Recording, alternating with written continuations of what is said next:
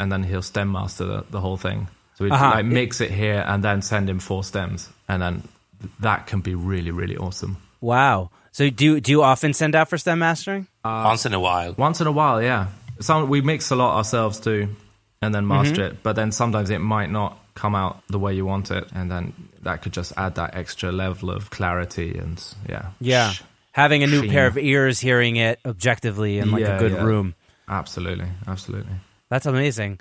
I- Is there anything you you guys would want to share with the audience? Like, say somebody's getting started in the world of music production and songwriting. What would you What would you tell them if you if you could tell them one piece of advice?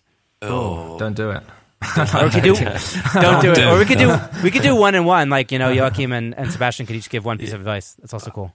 I'd say the one thing you need to totally do is uh, meet people. I think that's an important thing. Meet a lot of people, go around, play your music, and get get uh, like people in the business to hear what you're doing instead of sitting on the material yourself and hoping for something to just miracle to happen. I think you know that's just as a- important piece of advice as as finding the right gear and stuff. Because Yeah. you know what I mean. I would say Yeah, so too. Like collaborate and find Yeah. good people that you like working with, and that will help Yeah. a lot. I think Yeah.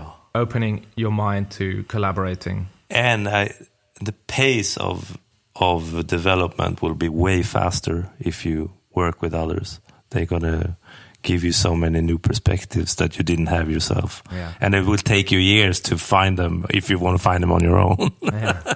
Yeah, I love that advice. Get out of the man slash woman cave and and and meet people and collaborate and that's Yeah. awesome. That's great. That's Yeah. just great advice. Amazing guys. Thank you so much for joining me on the podcast. How can our audience find out a bit more about you? Yeah, go to our Instagram, go to our Facebook, same thing, I think, Decco Official. Go on Spotify, stream us, please. uh, DECCO, we're out there. Amazing guys. Thank you so much and I hope you guys have a great uh, weekend. Hey, thank you, man. it's been a pleasure. Hope we see each other soon.